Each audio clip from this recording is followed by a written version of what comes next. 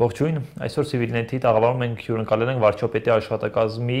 արդյունահանող ճյուղերի թափանցիկության նախաձեռնության քարտուղարության ղեկավար Լիլիա Շուշանյանին։ Շնորհակալություն Լիլիա մեր հրավերն ընդունելու համար։ Նախ նախաձեռնության մասին համ մի փոքր պատմեք, որպեսզի հերոսադիտողներին པարզ լինի, ինչ է իրենից ենթադրում նախաձեռնությունը։ Եթե հակիրճ անդրադառնամ EAT-ին կամ արդյունանող ճյուղերի թափանցիկության նախաձեռնությունը, այն միջազգային նախաձեռնություն է, որը նպատակ ունի իր համապատասխան ստանդարտի ներդրմամբ տարբեր երկրներում ապահովել հենց արդյունանող ճյուղերի թափանցիկությունը, հաշվետվողականությունը։ Մեր երկրում դա հիմնականում հանքարդյունաբերության ոլորտն է եւ ավելի կոնկրետ մետաղական հանքարդյունաբերության։ Հայաստանը դեռ 2017 թվականի մարտին դարձել է այդ EATA-ի նախաձեռնության Կոլումբիայում համաժողով։ Կոլումբիայում, այո, Կոլումբիայում դեռ ունեցավ հերթական այդ միջազգային խորհրդի նիստի որոշմամբ դարձավ տեխնացու անդամ եւ արդեն սկսեց հաջորդ փուլի աշխատանքների իրականացումը։ Վերջերս այս նախաձեռնության մասին երբ խոսում են, սա ուղղ կապվում է հանքարդյունաբերության ոլորտում որոշակի թամպացիկության, նաև վերահսկողության, հանրային վերահսկողության հետ եւ կառավարությունը մի շարք օրենքներում փոփոխություններ առաջարկեց, որոնք թույլ պետք է տան հանրությանը դրատվամիջոցներին իմանալ հանքերի, մետաղական հանքերի իրական սեփականատերերին, հա։ Կպատմեք այս process-ի մասին, ինչ է սա ենթադրում ու որտեղից ուր են գնում։ Եթե դեմ չեք ուղակի ամբողջական պատկերը ցույց տալու համար EIT-ի ոչ միայն իրական սեփականատերի մասով որոշակի թափանցիկության քայլեր է ձեռնարկում, այլև ֆինանսական թափանցիկության, ինչ որ անցած տարօրինակ օրենսդրական փոփոխություններով մենք հարկային գաղտնիքից եւ այլն ազատեցինք այդ կապանքներից ոլորտը եւ հունվարին արդեն համապարփակ զեկույցը հրապարակվեց բոլոր հարկային տվյալներով, արտադրություն, արտահանման ծավալով։ Իրական սեփականատերերի մասին այդ տվյալների բացահայտումը դուք իրավացի եք, որ ստանդարտի համապատասխան կետերից մեկն է, որի ուղղությամբ երկրները տարբեր քայլեր պետք է ձեռնարկեն ըստ իրենց ընդունած ճանապարհային քարտեզի։ Հայաստանը նույնպես ունի համապատասխան ճանապարհային քարտեզը եւ արդեն իսկ մշակել է օրենսդրական նախաձեռնությունների փաթեթ։ Այդ փաթեթը հույս ունենք, որ այս տարի կքննարկվի եւ կընդունվի արդեն նոր խորհրդարանում, որից հետո Հայաստանը նաեւ կձեռնարկի համապատասխան ենթարարական ակտերի եւ ծրագրային ապահովման մշակումները եւ 20 թվականին մենք պլանավորում ենք, որ այդ ռեեստրը, արդեն հրապարակային ռեեստրը պետք է գործարկված ունենանք։ Եթե EIT ստանդարտի պահանջին անդրադառնամ, ապա ստանդարտը պահանջում է, որ երկրները անդամակցող երկրները 2020 թվականին ունենան հրապարակային ռեեստր համապատասխան իրական սեփականատերի կամ վերջնական շահառուների, նայած տերմինը ինչպես է օգտագործվում, տվյալներով, Եվ սա կարող եմ ասել, որ Հայաստանում կլինի այս ծավալի աշխատանք, այս այս խորությամբ եւ ծավալի աշխատանքներով իրականացած առաջին փորձը, քանի որ իհարկե հատվածական տարբեր օրենսդրական նախաձեռնություններով մենք ունեցել ենք այս ուղղությամբ որոշակի աշխատանքներ, բայց դրանք էականորեն տարբերվում են այս նախաձեռնությունից, ինչով երևի թե առաջինը հենց հրաապարակայնության պահանջով ես չեմ սխալվի ասել, որ EATI-ը գլոբալ միջազգային այլ ստանդարտների կամ պահանջների պահանջներից տարբերվում է նրանով, որ հենց երևի առաջինը այդ հրաապարակայնության պահանջը դրեց եւ դրանով 20 թվականին մենք պատրաստում ենք ունենալ համապատասխան ռեեստրը։ Եվ շատ կարեւոր է նաեւ ստանդարտի պահանջին անդրադառնալով նշել, որ իրական սեփականատերը ըստ համապատասխան ստանդարտի համարվում է ֆիզիկական անձ պարտադիր, այսինքն իրավաբանական անձը չի կարող համարվել իրական սեփականատեր ես այս հարցը շարունակելով հաջող լրագրողների երբ որ հետաքնություն են անում հանքերի սեփական տերի պահով նախ սկսենք նրանից որ օֆշորում են հիմնականում մեծ մասը գրանցված իրավաբանական անձերից իրավաբան անընդհատ մի հատ շղթայի մեջ են մտնում ու վերջը որի չի երևում հիմա դուք ինչ վստահություն ունեք երբ որ հասնեք ֆիզիկական անձի վերջնական հենց այդ մարդը կարող է համարվել իրական սեփականատեր իրական սեփական այլ ոչ մի այդ ուրիշ ֆիզիկական անձ Եկեք գամ գլոբալ զարգացումներից այս թեմայով։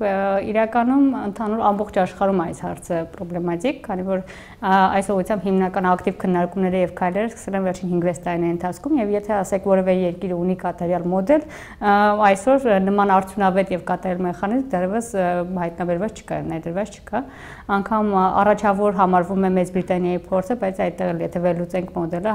նյուանսներ կան, որոնք որ կարելի է որպես նաեւ թերություններ ներկայացնել Ոստի Հայաստանը չեմ կարծում որ կփայլի լավագույն լուծում տալու որևէ այդ քայլով, սակայն մենք փորձել ենք ուսումնասիրել մեր օրենսդրական դաշտը, մեր ինստիտուտները, մեր իրավիճակը եւ համապատասխան դրան լավագույն այսօրվա դրությամբ լավագույն լուծումներ տալ։ Ինչ ենք նախատեսել այս օրենսդրական փաթեթով։ Մեկ քայլ արդեն առաջ ենք անցել որոշակի ստուգման process սկսելու համար, որը որ շատ երկրներում պարզապես բացակայում են, դա համապատասխան բաժնեմասնակցության մասին, սեփականատիրության մասին հավաստող փաստաթուղթ ներկայացնելու պահանջն է եթե པարզ խոսենք, այսօր օրինակ որոշ հանքարդյունանող ընկերություններ իրենք հանդիսանում են փակbaşնետիրական ընկերություններ կամ իրենց տվյալները դեպոզիտարիայում է պահվում, որտեղ որ համապատասխան ինֆորմացիան փակ է, այսինքն դուք չեք կարող այդ ինֆորմացիան գտնել։ Ունի միայն ԿԲ-ն, եթե չեմ սխալվում։ Դեպոզիտարիան կենտրոնական նույնպես տիրապետում է, եթե իրենք են վարում, եւ այսօրվա օրենսդրական պահանջով, եթե օրենքները անցնեն, ապա համապատասխան հանքարդյունահանողը կամ իրավաբանական անձը պետք է ներկայացնի նաեւ համապատասխան համապատասխան հավաստող փաստաթուղթը այդ մարմնից եւ ոչ միայն Հայաստանում, այլև օտարերկրյա համապատասխան մարմնից նույնպես թարգմանությամբ նոտարով հաստատված։ Այսինքն սա ստուգաբանության մեկ քայլ է, որը որ մենք կարողացանք հստակ սահմանել մեր ռեժիմում, մեր համակարգում, ներքին օրենսդրական եւ կարողացանք հստակ ամրագրել օրենսդրական պահանջ որպես։ Իսկ եթե դեպոզիտարիայի թուղթում եւս ամրագրված չի լինում իրական սեփականատերը, այսինքն ֆիզիկական անձը, որը միևնույնն է չգիտեմ, կամ միգուցե փոխկապակցված է, բայց հենց իրական սեփականատերը չի, այդ մենք ունենք նաև որոշակի դրույթ մեր օրենսդրական պատերներով սահմանած, որով խոսքը գնում է ոչ միայն իրավական սեփականատիրոջ մասին, այսինքն լեգալ սեփականատիրոջ մասին, այլ վերահսկողություն իրականացման այդ հայտանիշն ենք դրել որպես իրական սեփականատիրոջ սահմանման մի մաս։ Դա նշանակում է, որ եթե անձը տվյալ պայմանագրային որևէ հարաբերությամբ կամ որևէ հավատարմագրային կառավարման կամ այլ միջոցով կարող է վերահսկողություն իրագործել տվյալ իրավաբանական անձի նկատմամբ կամ կանխորոշել վերջինիս որոշումները, մենք համապատասխան դրույթով սահմանել ենք նույնպես որպես հայտանիշ իրական սեփականատեր։ Իհարկե սա ավելի ընդհանուր հայտանիշ է, սակայն երաշխիք է, որով որ մենք սահմանել ենք ապագայում որոշակի ինֆորմացիայի բացահայտման դեպքում ռիսկը տեղափոխում ենք հենց իրավաբանական անձի վրա, այսինքն մենք ի սկզբանե ընդունում ենք այն, ինչը իրավաբանական անձը հայտարարում է, սակայն եթե ընթացքում հանրային վերահսկողության կամ այլ միջոցներով բարձ է դառնում, որ տվյալ տեղեկատվությունը սխալ է եղել, կեղծ է եղել կամ ոչ ամբողջական, ապա համապատասխան սանկցիաներ են կիրառվելու։ Ինչ սանկցիաներ, այսինքն վարչական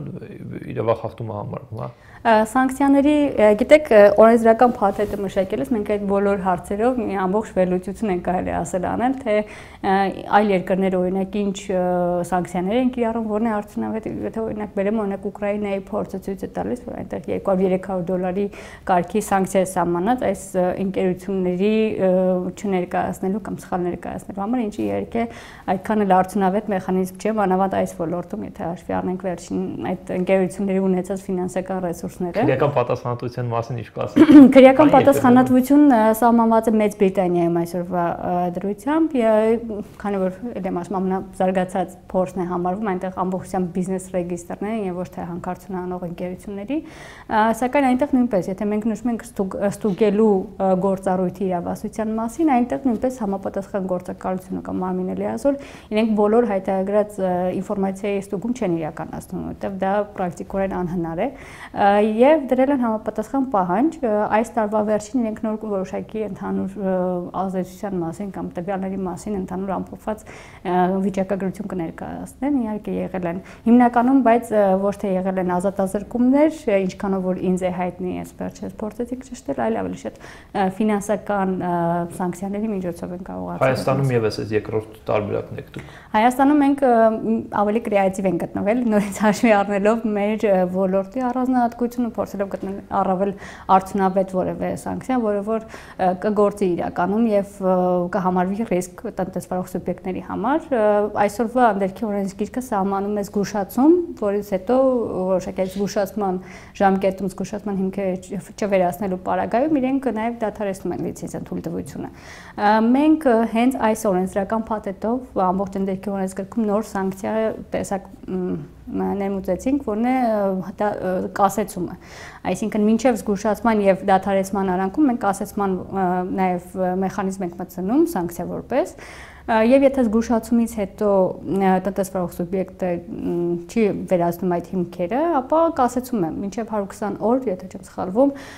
կասեցման հիմք է դա։ Այսինքն, եթե դուք դիտարկեք 6 ամիս տվյալ տնտեսվարող սուբյեկտը չաշխատի, իրավունք չունենա աշխատի մինչև համապատասխան հիմքերի վերացումը, ապա դա երևի թե ամենամեծ տնտեսական վնասը կլինի տվյալ ընկերության համար եւ ոչ թե ինչ որ ֆինանսական մեծ գումար մեկ անգամ է պատիժ որպես դնել կամ դադարեցման, որը որ ծայր հեղ եւ շատ դեպքերում ոչ կիրառելի սանկցիա է դառնում այս ոլորտի համար ոնց որ մենք ուսումնասիրեցինք միջազգային փորձը չեք կարծում որ այնուհանդերձ իրական սեփականատերերը կարող են գտնել հա նաև Հայաստանում սողանցքներ որ เป զի վերջո այս շղթան չտանի ու իրենց վրա դուրս բերի Դեք ինք ես կամ թե ես համոզված եմ մարդկային ստեղծագործ մտքի ճկունության եւ կարողությունների վրա եւ համոզված եմ, որ իհարկե կարող են լինել նման մեխանիզմներ, նման ուղիներ գտնել ցանկացած որևէ իրողություն թաքցնելու համար եւ այն էլ այս ոլորտում նորից կրկնեմ, որ ամբողջ աշխարհում դեռևս դրտուկների մեջ են այդ արդյունավետ մեխանիզմներ ստեղծելու համար։ Սակայն խնդիրը մեզ մոտ այլ կերպ է դրված, այսինքն մենք այսօրվա դրությամբ առավելագույն, խստագույն, այսպես ասած, պահանջները սահման սահմանել ենք, գրեթե փորձել ենք ամեն ինչ ներառել այդ օրենսդրության մեջ, օրինակ փոխկապակցվածության ընդհանուր մինչև սահմանումն ենք տվել, որպեսզի այդ ամբողջ շղթան կարողանանք բացել եւ հիմնական կարողացել ենք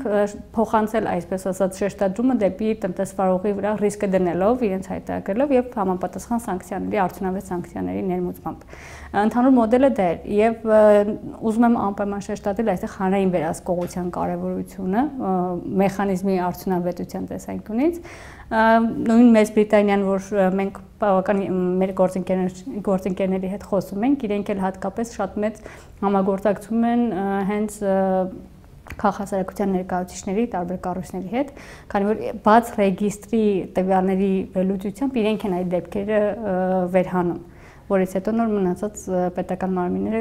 մտնում են այսպես ասած իրենց գործառույթներն իրականացնելու։ Այստեղ նույնպես մեր քաղաքասարակությունը կամ կարելի ասել ոչ միայն քաղաքասարակությունը, այլ լիազոր մարմինները պետք է ուղղակի այս բաց ռեգիստրի տվյալներից օգտվելով կարողանան վերհանել այդ ռիսկերը, դեպքերը եւ անգամ այն դեպքում, երբ կսողոսկեն իրական սեփականատերերը, իմանան, որ բավական մեծ ռիսկ է բացահայտման դեպքում Լիա հաջող բնապապանները, հետաքննող լրագրողները, երբ խոսում են այս թեմայի ուրեմն մասին, անընդհատ շեշտում են այն միտքը, որ Հայաստանը բնական պաշարների վերահսկողության մի հատ հսկայական ստվերային դաշտ կա, սկսած արդյունահանման իրական ծավալներից, իրական սեփականատերերից, որը պետությունը ուղղակի չի կարող այդքան ներուի ռեսուրս ու կարողությունը չունի մտնելու այդ դաշտ։ Հա, իսկապես այդ դաշտում անվերահսկելիությունը, գաղտնիքները, բան այնքան մեծ են, որ հնարավոր է եկամուտները բյուջեի նաև ավելացնել, հա, այս մարդկանց իրական նաև արդյունահանման ծավալները բացահայտելով այս դաշտից միջակայքում։ Ընդհանուր գաղտնիության հետ կապված։ Ամբողջ աշխարհում երևի տես մեր մեր Իհարկե, ամբողջ աշխարհում հենց այս ոլորտի հետ կապված այսպես է, որովհետև ավանդաբար այն ավելի կոնսերվատիվ ոլորտ է համարել, այլ ի տարբերություն այլ տնտեսական գործունեության ձևերից ինչ վերաբերում է արդյոք այդպես է թե այդպես չէ ես կպատասխանեմ որ այո կա ճշմարտություն այդ մտահոգությունների մեջ մասնաբաժին կա ճշմարտության սակայն խոսքը այստեղ այդ հանրային ընկալման այդ ավելի շատ միգուցե ինչ որտեղ նաև չափազանցնելու մեջ է այսինքն մենք ցանկացած հարց եթե քննարկում ենք պետք է քննարկենք կոնկրետ հարցադրումով լուծումներով խնդիրներով EIT շրջանակներում մենք այդ մոտեցումն ենք ձեռք բերել եւ օրինակ եթե խոսում ենք հարկային մուտքերի ավելացման մասին, ասում են որ այնտեղ կային կոռուպցիոն ռիսկեր կային եւ այլն, EIT-ի զեկույցը իրական ցույց տվեց, որ այսօրվա մեր հարկային համակարգը այնպես է կառուցված, ի տարբերություն այլ երկրների նույնպես կարող եմ դա ասել, որ այդ ռիսկերը կոռուպցիոն բավական ավելի նվազում են եւ այդ համադրումը նույն տվյալների ստացման թե պետական մարմիններից եւ թե ընկերություններից ցույց տվեց, որ իրականում այդ շեղումները հիմնական շատ փոքր տեխնիկական շեղումների մասն է խոսքը գնացել եւ ոչ թե կոռուպցիոն ռիսկերի՝ ի տարբերություն այլ երկրների։ Այլ հարցերով նույնպես ցանկացած հայց, այսինքն կարելի է դիտարկել ու ուսումնասիրել, նույն եթե խոսում ենք հարկերի կամ Թուրքիայի միջոցով ավելացման մասին եկամուտների, մեր զեկույցով եղավ դեպք օրինակ որ գույքը հարկի համապատասխան վճարում այդ տողով չէր իրականացվել քանի որ պարզապես այդ գույքը կադաստրում չէր գրանցվել Այսինքն սա հետաքրքիր այդ դեպքերից մեկն է, որ որոշակի ցանկացած հարց, որ ասում են կոռուպցիոն ռիսկեր եւ այլն, ուղղակի կարելի է դիտարկել եւ հասկանալ խնդիրները։ Չեմ կարծում, որ տնտեսվարողները բոլորը տենց պետք է դիտարկվեն բացասական ֆոնի վրա, որովհետև նույն այդ դեպքը, եթե մենք տեսնենք, ինչպես բացահայտեցինք, ընկերությունը կատարել էր վճարում գույքահարկի գծով օգնություն որևէ տողով, այսինքն ոչ թե գույքահարկ, այսինքն եթե ինքը ուզենար ընդհանրապես չկատարել, ուղղակի այդ վճարումը չէր լինի։ Այսինքն ցանկացած դեպքում իհարկե չափազանցություններ լինում են, բայց ոլորտը իրոք որոշակի ակմով համարվելով ավանդապես կոնսերվատիվ, իր մեջ իհարկե ռիսկեր պարունակում է ինչի միջև այս նախաձեռնության Հայաստան մուտքը չէր արվում, հա, պետության կողմից։ Ինչի պետությունը ուրիշ մեխանիզմներով չէր փորձում իմանալ իրական սեփականատերերին, այլ միայն ԱՃԹՆ նախաձեռնությանը միանալուց հետո արդյոք պետությունը պետք է ավելի շահագրգռված լիներ էլի։ համաձայն եմ, սակայն ինչպես ասում են, ամեն ինչ գալիս է որոշակի խթանի, չգիտեմ, արկայության դեպքում, եթե նույն հարցը կարող եք տալ գլոբալ մակարդակում, ինչու մինչև այս այդ ուղղությամբ քայլեր չէր ձեռնարկվում։ Խոսքը միայն հանքարդյունաբերության ոլորտի մասին չէ։ Ես նորից ասեմ, որ վերջին 5-6 տարիների ընթացքում է այս ամենը նոր ի հայտ եկել, FATF-ով, ՏՀԶԿ-ով, Global Forum-ով բոլորը նոր են սկսել այդ պահանջը գիտակցել եւ երևի թե խնդիրը այն է որ գլոբալ զարգացումները բերում են գլոբալ խնդիրների ու գլոբալ լուծումներ են պետք եւ այդպեսով արդեն գլոբալ լուծումներից այդ պահանջից իջնում է դեպի ազգային մակարդակներ եւ պատահական չէ որ հենց այդ գլոբալ նախաձեռնություններն են խթանում տարբեր երկրներում ազգային մակարդակներում արդեն այդ պահանջի առաջացումը բայց նաեւ ասեմ որ ոչ միայն միջազգային կառույցների մոտ է այդ պահանջը առաջացել այլ նաեւ հենց հանրության մոտ հատկապես այդ Պանամայի, Paradise-ի փաստաթղթերից հետո որոնք որ բացահայտեցին բավական հետաքրքիր սխեմաներ թարգերի թաքցնելու համար կամ, չգիտեմ, օրինակ Բարզաշյան Պաշտոնյանների ներգրավվածություն օֆշորային գործարքներում եւ այլն։ Այսինքն պահանջը պահանջը եկել է այս իրական սեփականատերի բացահայտման անչափ թե հանրային վերահսկողության առումով եւ թե միջազգային կառույցներից դա նորմալ է վերջին հարցերը հարցը շատ հաճախ երբ որևէ հանկարծությունաբերական ընկերության սեփականատերերի ենք որոնում մենք գնում ու հասնում ենք մի կետում, օրինակ գրանցված է իրավաբանական կամ հասցեն մի շենքում, որտեղ ընդհանրապես իրենք սենյակ չունեն, ընդհանրապես աշխատակիցներ չունեն, միայն հայտնի է, որ տեն նման առևտրային ընկերություն կա ու որևէ այլ տեղեկություն չկա։ Հիմա փաստացի երբ դուք ուսումնասիրելով հասնում եք այդ կետին, ինչ գործիք ունեք այդ ընկերության մասին ամբողջական ու այդ փոխկապակցության մասին ամբողջական քննադատական ունենալ։ Եկեք այսպես պատկերացնենք իրավիճակը։ Ուղղակի տվյալ ընկերությունը չի կարող նման ընկերության վերջնակետով հայտարարագիր ներկայացնել, այսինքն ինքը ամեն դեպքում պետք է որոշակի ֆիզիկական անձի ներկայացնի։ Այսինքն եթե այդ ընկերություն ունի ֆիզիկական անձ, ու ինքը իրական սեփականատեր պետք է հայտարարի, փաստացի դա անհնար է լինելու, այսինքն համակարգը թույլ չի տալու։ Միակ դեպքը, որը որ բացառություն է եղել, որ ֆիզիկական անձ հնարավոր չէ սահմանել եւ միջազգային պրակտիկայում էլ դա կա, դա եթե արդեն պետական ընկերություն է, համայնքային ընկերություն է կամ միջազգային կազմակերպություն է։ Ցանկացած այլ դեպքում ֆիզիկական անձի արկայությունը պարտադիր է վերջին հարցը ցեն նախաձեռնության իհարկե առանցքային նպատակներից առաքելություններից մեկը հա հենց իրական սեփականատերերի բացահայտումներ բացի սրանից այս նախաձեռնության շրջանակում ինչ էլ աղմկահարույց բաներ եք նախատեսում աղմկահարույց չէ բայց օգտակար հուսով եմ հանրության համար կասեի որ անցած տարի բացի այդ համապարփակ զեկույցի կազմից որ որ ասում եմ աննախադեպ ծավալի տվյալներ բացահայտեց այս կոնսերվատիվ ոլորտում նաև մենք պայմանագրերը դարձեցինք մետաղական հանքարդյունանող ընկերությունների պայմանագրերը հարցերը հրաապարակային բաց թափանցիկ դարձրեցինք, որը որ նույնպես բավական երկար քննարկում էր արդյոք այնտեղ դրանք հրաապարակային լինելու իրավունք ունեն թե ոչ, այսինքն տարբեր կողմերից եթե նայենք, որոշակի քայլեր արվում են ընդհանուր թափանցիկության հաշվետվողականության բարելավման մակարդակի բարձրացման համար, որն էլ իհարկե բերում է լավ կառավարման եւ ոլորտի ճիշտ կառավարման նախաձեռնության մասին խոսելով ես այն առանձնահատկությունը կուզեի նշել, որ թերևս այն միակ հարթակն է Հայաստանում, որտեղ որ քաղաքասարակությունը, բիզնեսը եւ կառավարությունը որպես իրավահավասար կողմեր, որոշում կայացնող կողմեր ներգրաված են եւ ամբողջ process-ը գնում է հենց այդ հարթակի միջոցով, ինչ որ ամենակարևոր ձեռքբերումն է Հայաստանում։ Բիզնեսը միտված չի տապալելու այս նախաձեռնությունը։ Դեռևս միտված չի եղել տապալելու եւ ավելին ասեմ, բավական օգտակար ներգրավվածության նույնությամբ է եղել, քանի որ շատ հարցեր, եթե թե մասնագիտական առումով, այսինքն սկսած այդ հաշվետվությունների հարցաթերթերի կազմումից եւ թե այլ առումներով անգամ բավական աջակցող դիրքերում է հանդես եկել, որը որ ի սկզբանե մենք չէինք պատկերացնի, բայց իրականում այդպես տեղ ունեցավ։ Շնորհակալություն Լիլիան։ Ձեզ շնորհակալ։ Հիշեցնենք, մենք զրուցում էինք վարչապետի աշխատակազմի արդյունահանող ճյուղերի թափանցիկության նախաձեռնության կարտուղարության ղեկավար Լիլիա Շուշոնյանի հետ, շնորհակալություն հետևել Civinet-ին։